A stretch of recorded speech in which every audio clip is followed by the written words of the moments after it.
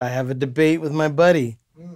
on how you play a certain song that I've been asking you about, and I just wanted to see how you do it. What? Lust for life. That's right. That's what you. Is it on the floor, Tom? Is it on the kick? What's the swing? How and the played it. how did you do I haven't played it in a while. I don't say All I'm right. playing Lust for Life.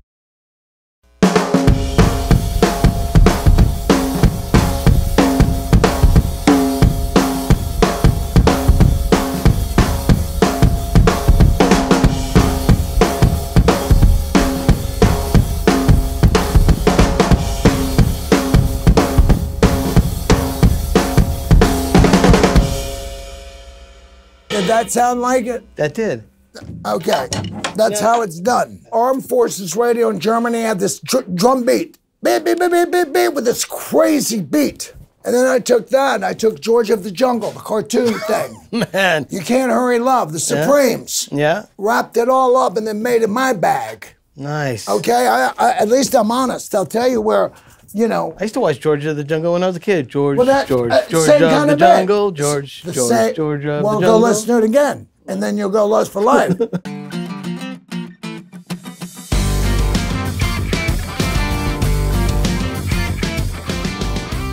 Hi, everybody. I hope you're doing marvelously well. It is another incredibly hot day here in sunny Los Angeles. Sunny's an understatement. It is about, well, was it 110 somewhere in LA area yesterday? Sweltering. Luckily, not too humid, but just humid enough to be frickin' hot. So, talking of hot, we've got Hunt Sales today. Hunt Sales is a frickin' legend. He played drums on Lust for Life. Yep, Dum, dum, dum. That drum beat, that iconic drum beat. But he's much more than that. He was the drummer for Iggy, yes. He was also the drummer, of course, with David Bowie and Tin Machine. His career is huge. And of course, the Sales Brothers with his brother Tony. Thing I didn't know is that when he was, I still believe, a teenager, he played with Todd Rundgren on Something Anything. So this guy is insanely talented. He's got a lot of stories. So stay tuned for the great Hunt sales. So you start playing at 11. Start playing drums? Drums at 11, is that No. correct? When did you start? Six. Six. Wow. Look, here's what got me playing drums. Not the Beatles. And my notes say Buddy Rich, Louie Bellson, and Shelly Manne. Is that correct? Are those, are those yeah, but the influences? guy that got that I saw and I went, I want to do that was Earl Palmer. Wow. Okay? And if anyone knows who Earl Palmer is, badass. I saw him, it was one of those sessions at Capitol. My dad did these records, comedy, whatever, singing, bullshit. And this guy was there, and man, that was cool. I didn't want to be a comedian. That's why I don't, you know, I didn't want to be a comedian. And I can tell a joke or two, you know what I mean? But um, no, I went the musician route. I had to go out and make my own way. You know what I mean? I'm not Frank Sinatra Jr. I'm not, I'm Hunt Jr. It's time to get serious because uh, who are my male figures? For me, what sets you apart, probably from other drummers that played in bands that we now call like punk or, or anything like that, is that you really are a, a player. You're a player's player. You're Well, great. I, play, I was in Las Vegas show bands. Okay, people don't know that. I played jazz for quite a few years over at Compton, at Sportsman's Bowl, which is way, way out there near First uh, Goodyear, whatever. You know, Hammond organ, Jimmy Smith music. That's I studied and did that for several years. I said rock and roll. Now I grew up on Al Jackson and and the Memphis shit as a, as a little boy. I loved that shit. And that, that Buddy Miles, yeah, Buddy Miles and Al Jackson, besides Buddy Rich and, and they, that other world. But as a kid, I, I, I probably still have some of those records in storage, you know, that I bought, knock on wood and all, you know what I mean, all, all, all that soul stuff. I used to go to the Apollo when I was 12 years old, you know what I mean? I'd be hanging out at the Apollo, St. James Brown, do incredible shows. Now, I don't know who else was 12 years old, 11 years old, hanging out at the Apollo. I was, and it was groovy, and I also was hanging out at Count Basie shows and Duke Ellington because they were still going. See, my fantasy, you know, fantasies are, they can be really strange and not true, and what the fantasies was to play with Duke Ellington's band or, or Count Basie's band. That's what I wanted to do. But, you know, I did the organ jazz shit, studied, and I come from rock and roll. But it doesn't mean I can't put my influence into rock and roll. You know what I mean? That, that the swing, the um, the shit that those bands, the, the great drummers did. You know what I mean? And um, I brought a little bit of that since I think I believe that sensibility in rock and roll. How did you get to join Runt in 1970? Todd Rundgren. How did that happen? I ran it. I used to hang out at a club called Steve Paul's Scene. Because you're only what 16 then, I'm 15. 15. and I got my shades on, and some chick, she do my hair so I look like cream, you know, with the afro. That was big. I Have my hair done, I have my shades on, my velvet shit, the boots. They let me in. Run into Todd. Someone introduces us. My brother happened to be there that night. We get up and jam. It clicks. It, it's one, you know, you play with someone, it clicks. Man, he says, I left the Nazz. I'm doing my first solo album. You guys want to do it? We said, yeah. Now, I kind of knew of him from the Nazz, but I, you know, I didn't own any of their records. But I knew about the Nazz. I didn't know, you know, how talented he was yet. I mean, that night I heard him play guitar. He was fantastic. But um, I said, look, we're moving next month back to New York, uh, back to L.A. This is New York. He said, I'll come out there and do the record. Next thing I- know, we're back in our home in LA. He's living in the guest bedroom, fucking writing the record. We're jamming in the daytime, and then we start working on this record. He eventually finds his own crib. But um, that's how close it was. And um, that started it. You know what I mean? That jam session, for some reason, clicking, and then us doing Runt. And it was 1969. I'm 15 years old, and I'm doing a record with Todd Rundgren. How you end up in Paris then? How I ended up in that is there was this guy named Bobby Hunt, B3 player. He played, Bob Welch and him had a soul band in the early 60s over in Paris. They went over there and they loved them because they played R&B.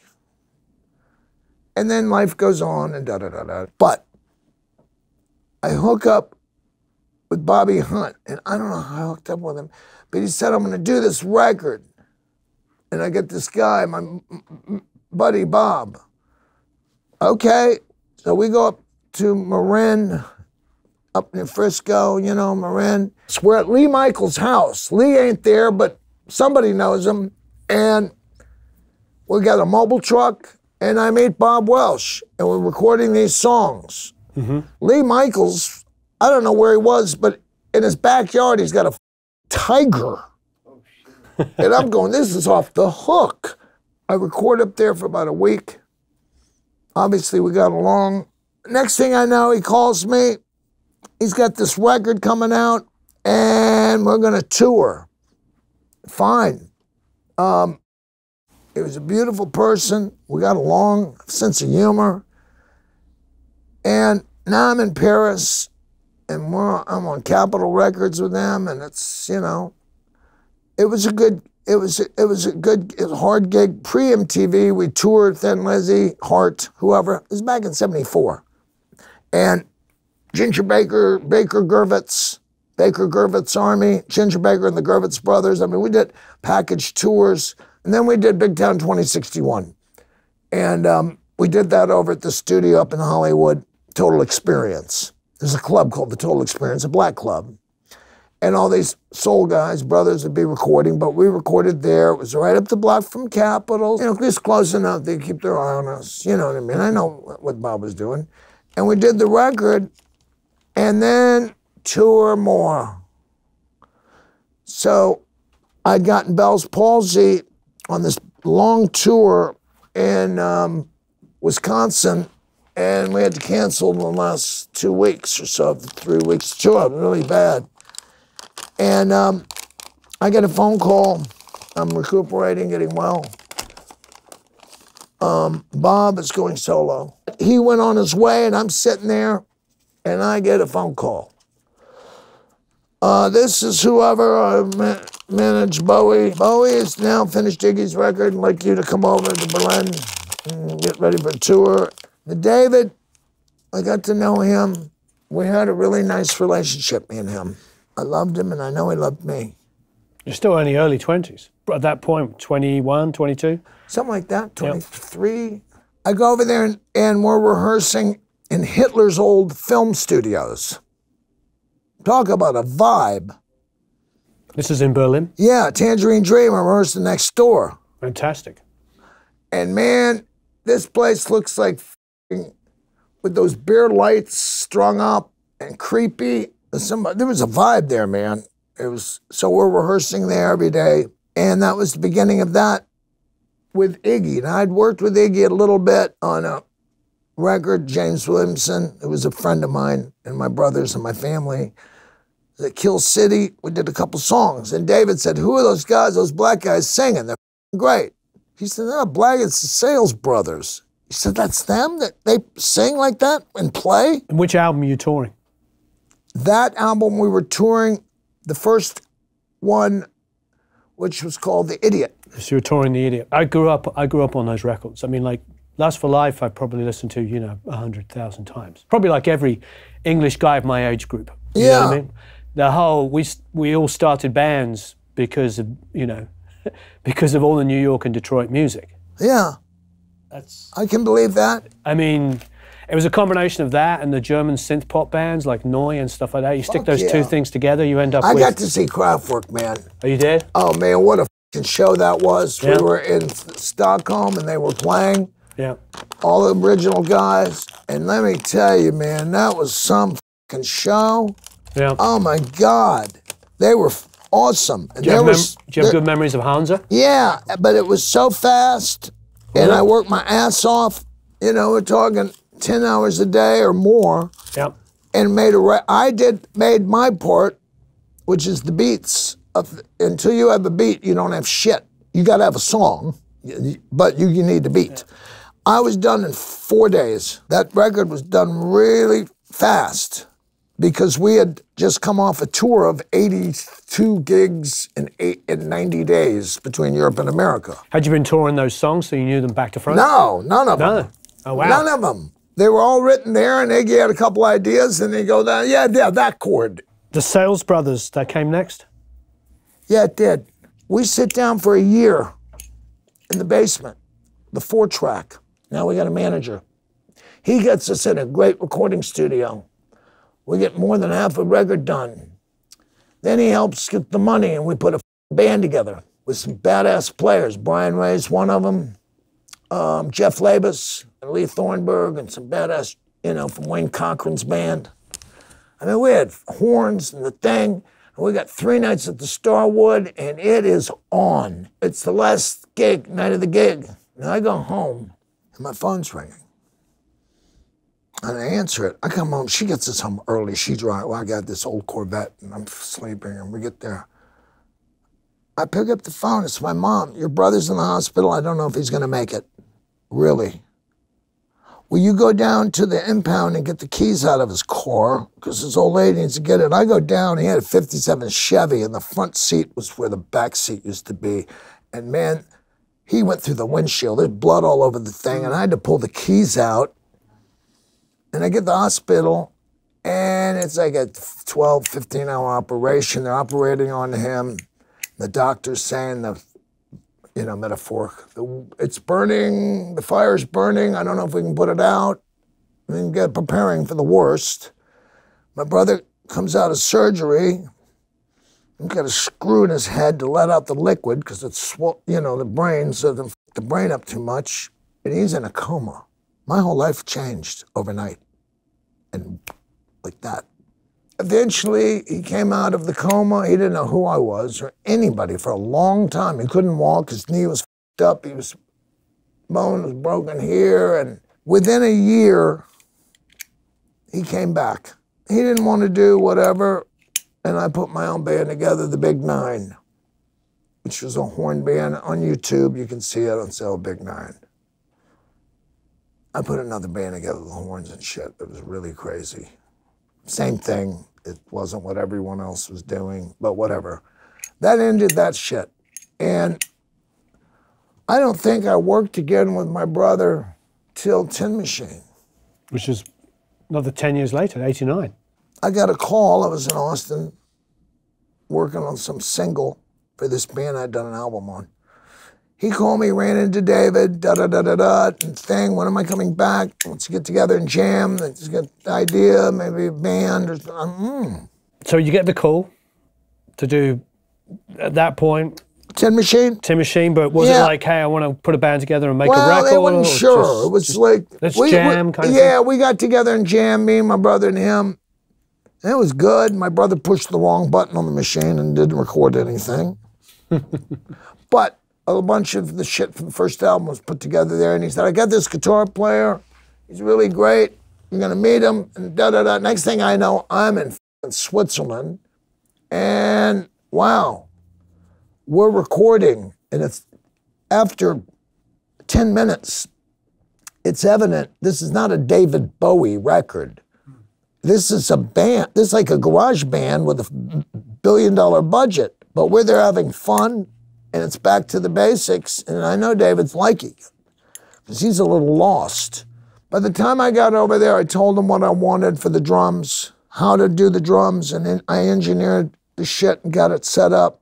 Tim Palmer walked in a couple days later and he's very accomplished mixer engineer. We were already, he looked at us like we were crazy, you know what I mean? But we're writing shit in the studio, a song or two or three a day, because all of us had done that shit. I had, my brother had, and Reeves, he had his experience, but you know, I'd made a lot of records by the time I hit that. Produced a lot. I was producing. I wasn't even, you know, playing drums a lot. I was producing and editing tape and shit. Then we tried to think of a name. Okay, it's a band. Within a few days, this is a band. I don't know anything yet. And we're writing names down, what would be good for this band. Just like fucking some kids in New Jersey now, right this minute, that are 16, 17 years old, putting a band together. That kind of innocence, and hard to find.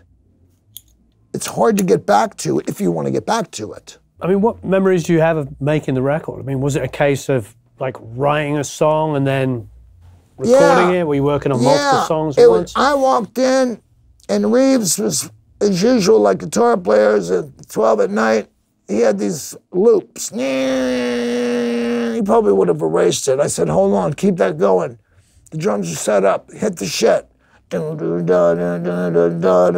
against this loop. Then I went sections. I'm putting sections over this thing that ain't a song.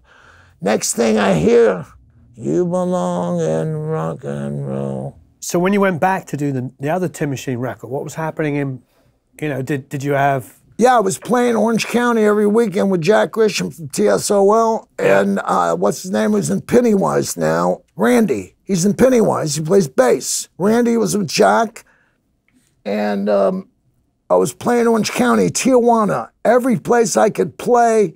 So I did that, producing. I went. I was finally got back to producing a couple bands and just hustling my ass off. But it sure did before I learned some things about myself, whether it was through a program,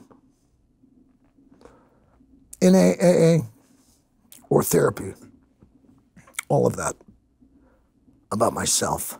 And I'll tell you, resentment and anger and misguided, misled truths and, and then sizing shit up for an addict can really spur off some bad shit because you know no one can love me more than I can love me, and no one can hate me more than I can hate me.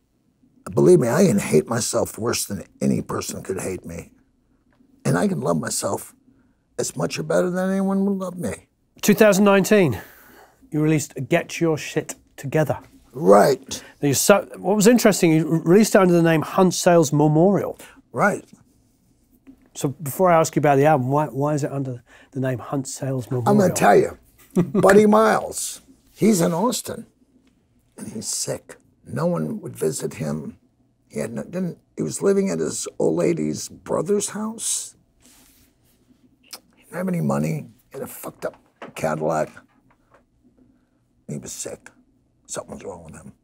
But I'd go out and see him. No one else. That people talk sh- shit that no one see him. And, I, and my friend of mine, this guy I know from Detroit, Tommy Terrific, worked for him. So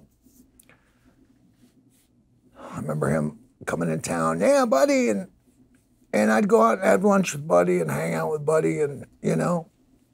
So Buddy dies. And they have the Buddy Miles Memorial, and their place is packed with the black jeans and white tennis shoe mother playing. Them changes. Yeah, that and Hendrix songs. Yeah. And I was disgusted. He's dead? Where were they when he was at home and needed some company? Oh, the memorial. Oh, I'm gonna have my memorial now while I'm alive. That's where I got the name from. It was so, you know what I mean? I flipped it and went, that that's fed up. Good. That'll be the name of my band. Because I didn't like what I was seeing. You know what I mean? It was really Sure. It's Tony Visconti out singing Bowie songs. I mean, it's that it's it's wrong. It's it's just God bless him, but it's just something creepy about it and lame. So tell us a bit about the album. So I go home, Yeah. Okay. and now I got a catalog of songs. I got hundreds, hundreds, hundreds of songs. Right. My guitar player's going. You got enough? I got a bunch of these songs on my phone. Ones I had written that year. She says, Why don't you do those? My wife said. I said, I'm saving them. For what? You're going to write 50 more songs this week. She was right. So I spent like 80 hours a week finishing up these songs. And then before I left home for home after the first session, I was sitting on the couch at Will's house, Sexton, in Memphis, Will and Amy, and they were some they weren't there. And I he had a really cool Everly Brothers model guitar. It's in my video. And I came up with one day, and I came up with one other song. It like came to me. And I always what I work on is this. Sure. Okay? It's got a VSO, which means it speeds it up or slows it down. It's got compressors in it, and it's analog, and it's fast. So I get that idea, I press it. I don't sit there for 20 minutes programming something. I don't work that way. It comes out. And sometimes I try to rewrite the lyric. Okay, I got to work on lyrics. It turns out those lyrics that came out the first and only time, they're the they're good. It's good. It comes. It's the record came together real real fast. And, and like I said, six songs in one day with vocals. The next day, I put tenor saxes on this thing, and I put some piano shit, and I put some shit you can't hear sonically. It's mixed in the background. Then go back. Another six songs one day is vocals right after every song. There's video up of me. Have you seen the video of me making it ain't easy? I mean, I'm going, to get it ready. Come on, get the fuck. It's not, I'm not doing a bit there. It's like, I want to cut this. If I'm feeling that let's do it. This, we did that song twice. The, the second take they kept, and it was live with me singing. And it was old school. You know, the way they used to record, like real fast, before they took three weeks for drum sounds and shit. You know what I mean? We just did it really fast. That's what it was. Uh, you know, I got no Cadillac. I didn't get anything, but I did get a record out. You know what I mean? And I'm really grateful to Bruce, I always will be, that I got something out there. And there's another record in the can now. It sounds, some of it sounds like, what was that music? The Sound of Young America? sounds like some Barry White Motown shit, minus the strings and all that crap. And then there's some other shit on it it's really dark. You know what I mean? It's real dark and loud. It could be Ronnie James Dio if the music was just a little sicker in another way. Who do you have playing on the record with you? Only difference is a different bass player. I've been through 20 bass players. and I got this mother. His name is Cornbread. He's badass. And I got him to do the record. We got a little money together, gave him some money. And it wasn't much. It wasn't about that. He wanted to do it. We didn't have bass player at the time, so I got him to do it. And um, he did a great job. We did rehearsed, put the songs together, and through various studios, we cut this record. And um, I've wanted to get it out, but when it was time to make a record with Bruce, he wanted to do something. It wasn't like, here, will you put this record? Not, wasn't that kind of, he wanted to work from, you know, from on up. He liked me and I liked him. We, worked together and we worked well together. We complimented each other in the studio. He would do things that I didn't do, and I did things that he didn't do. And it was really a good, natural thing, man. What a guy, man. I mean, that, that part of it was really cool. I usually don't work with other people. I've started to again. I try to delegate a little more now. I used to do it, get rid of everyone in the studio that worked there, and I'd set up the mics, and I'd do this, and then I'd do that, align the machine, and I burned out finally on that shit, and went, let me let other people do shit. If you, if I don't like it, I can always say, let's change something, but maybe I'll learn something. And you can burn out in the studio really easy. I've seen it. I've seen these guys burn out, man. And I've had, I remember a spring going loose one night in the studio in my brain one night years, years and years ago. And I had fucking doing 10 hours every day, 15 hours a day, seven days a week. Man, something happens to you and you lose your mind. Basically, in the uh, 80s and 90s, you played on a lot of film soundtracks. What, how did you get into that? Because you played American Ninja 2, The Linguini Incident, Slaves of New York, Tape was in the movie. Dr. Giggles. Yeah? Yeah. So you're in the movie and you get to play play the music as well. Linguini, I was in a movie with Steve Martin. It's always a good thing. Yeah. And it was called The Lonely Guy. And the scene is there's five guys leaving his, the chick he likes room. And so uh, she slept with the whole rock band. It was me and Michael Des Barres and, and Steve jo- and Steve Jones and my brother. And it was one day doing this scene 500 fucking times. But I got a phone call a few years ago after working with our mutual friend, Jose, saying, Do I want to be in a movie? I said, Yeah. So I go back to Austin, and my band performs in this scene in a movie, and we play a couple songs with an audience, and thing, it's groovy. Then I end up acting in it, Nice. playing this gangster who runs shit in Austin. But the lines are cornball. I said, uh, let me rewrite a couple. Okay. And then I'm making shit up. Oh, I like that. So I'm rewriting all the lines that I'm, because, you know, and I'm just basically playing myself, kind of, in this movie that's gotten really good reviews at the festivals called The Roommate.